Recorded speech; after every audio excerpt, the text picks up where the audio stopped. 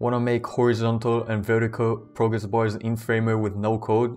Well, in today's video, I'm going to be showing you exactly that. So let's get started.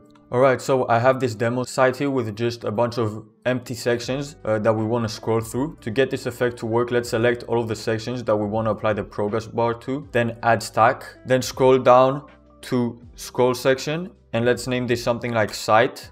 Now what you want to do is draw a frame right here. Let's set it to something like 4 in height Let's give it a slightly gray feel. Then what we're gonna do is draw another frame. You want it to be kind of a thick rectangle shape like this. We're then going to drag it into the bar. On the bar, we wanna add a layout and set it to center. Then here, let's give this a color. In this case, I'm just gonna use purple. We wanna link the height and the width.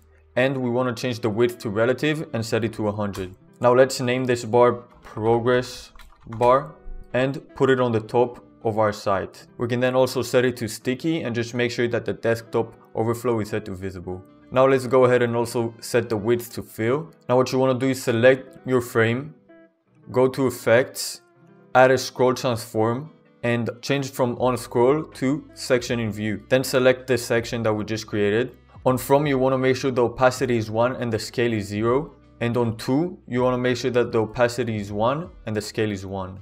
Now you see that as we scroll, we got this progress bar. Now for the horizontal scroll section, it's very easy. All you want to do is draw a horizontal square.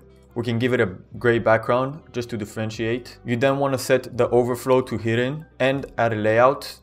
You then want to go ahead and draw a frame in it. Let's set the width to fill and let's set the height to 50 viewport. And then in effects, go to scroll speed and set it to zero and change the position to scroll. Then on fill, let's just give it a color so it looks nice. And you'll see now that as we scroll, the vertical progress loads. So that's pretty much it guys. If you enjoyed, make sure to like and subscribe.